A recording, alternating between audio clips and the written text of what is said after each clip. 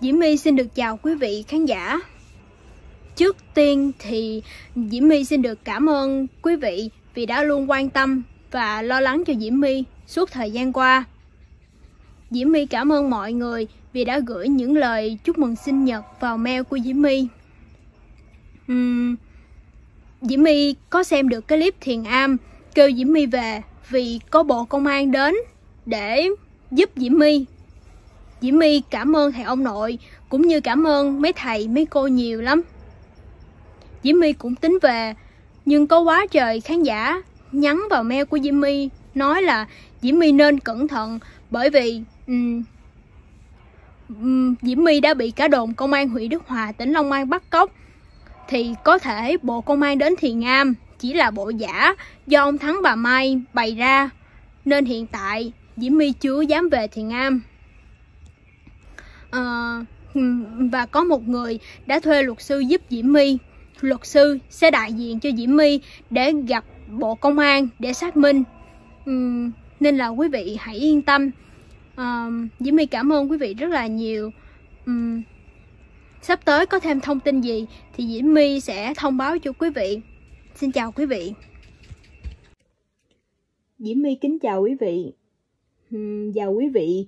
Uhm, đây là những cái lá đơn mà Diễm My đã tự viết tự soạn ra tự ký tên lăn tay để gửi cho các cơ quan ban ngành ở trung ương. Mỗi một cái lá đơn mà Diễm My gửi là Diễm My đều kèm theo một cái USB ừ, lưu toàn bộ bằng chứng trong đó. Quý vị thấy đó, đây là những cái lá đơn Diễm My gửi cho Trung ương Hội Liên hiệp Phụ nữ ở Hà Nội, gửi cho Bộ trưởng Bộ Công an, gửi cho Chủ tịch Quốc hội và còn nhiều nơi khác nữa. Ừ, Diễm My đã đi ra bưu điện để gửi những cái lá đơn này và gửi kèm chung với những cái USB này.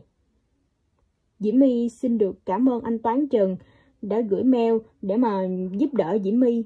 Ừ, Diễm My có gửi mấy cái mail lại cho anh Toán Trần để cảm ơn. Không biết là anh Toán Trần có đọc được hay không? Ừ, Diễm My xin cảm ơn uh, anh Lộc Lê ở bên Mỹ đã liên hệ đến Trung ương Hội Liên hiệp Phụ nữ ở ngoài Hà Nội để giúp Diễm My. Nhờ anh lộc Lê ừ, mà Diễm My mà Trung ương Hội Liên hiệp Phụ nữ ở Hà Nội đã liên hệ được với Diễm My để mà can thiệp. Đây là những cái mail mà Trung ương Hội Liên hiệp Phụ nữ Việt Nam ở Hà Nội đã nhắn gửi qua cho Diễm My. Diễm My cảm ơn tất cả quý vị khán giả trong nước và ngoài nước, đã gửi email quan tâm và động viên Diễm My rất là nhiều Sắp tới có thêm thông tin gì thì Diễm My sẽ đăng lên cho quý vị được biết. Diễm My xin chào quý vị.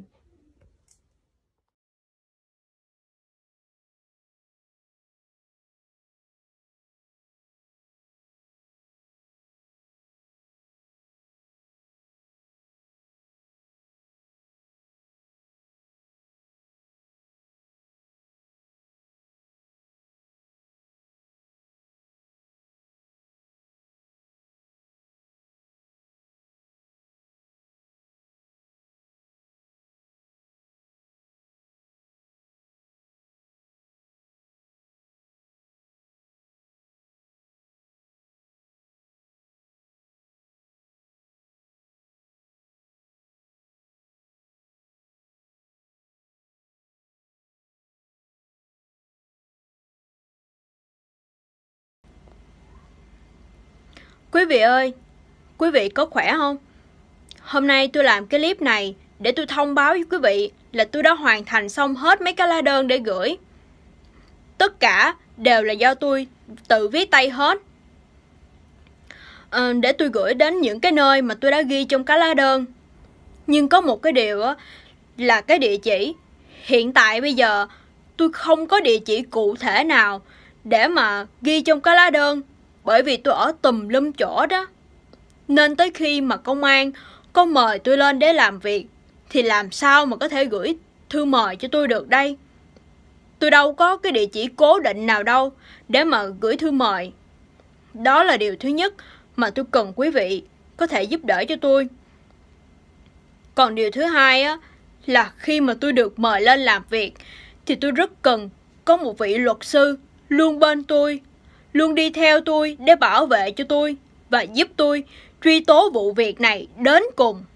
Đặc biệt là tôi muốn vụ việc này phải được giải, phải được giải quyết một cách công khai hoàn toàn, từ khởi đầu điều tra cho đến ngày ra tòa phải được công khai minh bạch cho toàn thể được biết, để cho mọi người đều nắm bắt được tình hình rồi á, những khi mà mời tôi lên làm việc, tôi muốn tất cả phải được công khai trước mọi người chứ không phải vào phòng riêng. Không ai biết. Đã vậy, trong phòng riêng còn có ông thắng nữa. Tôi rất là sợ. Nếu mà không công khai, thì tôi chắc chắn là vụ việc sẽ được dàn xếp nội bộ bên trong, do chính ông Thắng bỏ tiền ra làm. Ông Thắng, cứ lên mạng, hối thúc tôi, thưa đi thưa đi, để cho tôi mau đi thưa. Để cho công an mau mời tôi lên làm việc rồi cũng mời ông Thắng lên làm việc và chắc chắn là ông Thắng sẽ mua chuộc công an nữa để công an bắt tôi giao cho ông Thắng chứ không có làm việc hay điều tra gì đâu. Nếu một cái vụ việc này á mà không được công khai thì khi tôi xuất hiện ra, ông Thắng và công an huyện Đức Hòa sẵn sàng giết tôi để thủ tiêu tôi bất cứ lúc nào. Ông Thắng, ông lúc nào cũng nói tôi bị tâm thần. Ông lấy cái lý do đó để mà ông thoát tội, rồi ông lấy cái lý do đó để mà ông bắt tôi về nè hành hạ tôi, giam cầm tôi, hãm hiếp tôi. Đó là cái chiêu của ông quý vị. Cho nên tôi cầu xin quý vị, xin hãy giúp đỡ cho tôi để cho tôi có được một luật sư thật là giỏi, luôn bên tôi và giúp tôi truy tố vụ việc này đến cùng. Tôi cảm ơn quý vị rất nhiều. Và xin quý vị hãy giúp đỡ cho tôi để cho tôi có được một cuộc sống tự do như bao người công dân khác. Mọi thông tin liên lạc, xin quý vị hãy gửi tin nhắn qua mail của tôi. Mail của tôi tên là mi diễm 1803 a gmail.com hoặc là quý vị có thể để lại bình luận ở bên dưới. Một lần nữa, tôi xin cảm ơn quý vị rất nhiều. Xin chào.